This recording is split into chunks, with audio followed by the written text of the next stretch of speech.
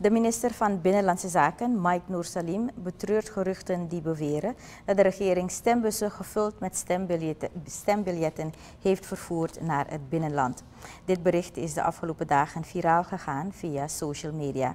Er wordt gesuggereerd dat de regering wil frauderen bij de komende verkiezingen en daarom nu al de voorbereiding daartoe treft. Noor Salim is niet te spreken hierover. Volgens hem is dit een bewuste actie die bedoeld is om de verkiezingsorganisatie te schaden. De kolder bestaat er niet. Maar op de eerste plaats, de politieke partijen die mee willen doen aan de verkiezing, volgens onze kalender, tussen 16 en 21 maart zich kunnen registreren. Dus we weten nog niet eens welke partijen meedoen aan die verkiezing. Dat is één. De, daarna volgt de kandidaatstelling. Als partij X meedoet, wie is in Paramaribo de lijsttrekker, wie is op nummer 2, dat is ons ook niet bekend. Hoe kunnen wij dan nu al stembiljetjes hebben? Dus het is aan de ene kant heel laconiek, maar aan de andere kant heel serieus. Omdat er wel mensen zijn die dat proces niet begrijpen en die dat wel vasthouden. En die zeggen, hé, die overheid, die regering is bezig met frauduleuze handelingen. En dat is een kwalijke zaak.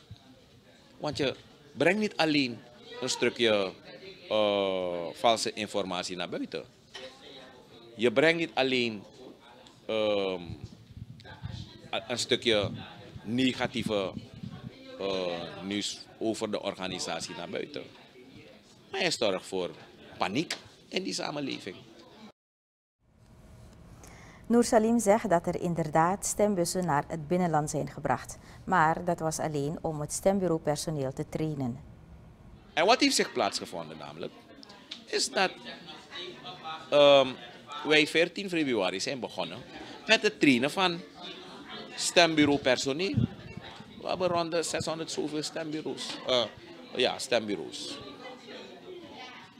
Maal 10 mensen die gaan moeten werken die dag. Je zit dicht bij de 7000. De mensen moeten getraind worden. Er zijn mensen die ervaring hebben, die al jaren uh, aantal verkiezingen met het beeldje hakken. Maar toch ga je de mensen moeten trainen. De nieuwe mensen die erbij komen. Die moeten weten wat er moet gebeuren wanneer zo'n uh, stembureau open gaat. Welke procedures moeten in acht worden genomen. Welke processen vinden plaats? En in het verlengde daarvan zijn er lege bussen gegaan naar de verschillende trainingsgebieden. In dit geval was het praten over Mungo, daar, Marowijnen. We praten over Brokopondo. Uh, de mensen zijn geweest naar Para, Wanika, Kommerwijnen. En zaken worden gesimuleerd minister Mike Noor Salim van Binnenlandse Zaken. Hij benadrukt dat geruchten dat de regering stembussen gevuld met getekende stembiljetten naar het binnenland heeft gestuurd niet waar zijn.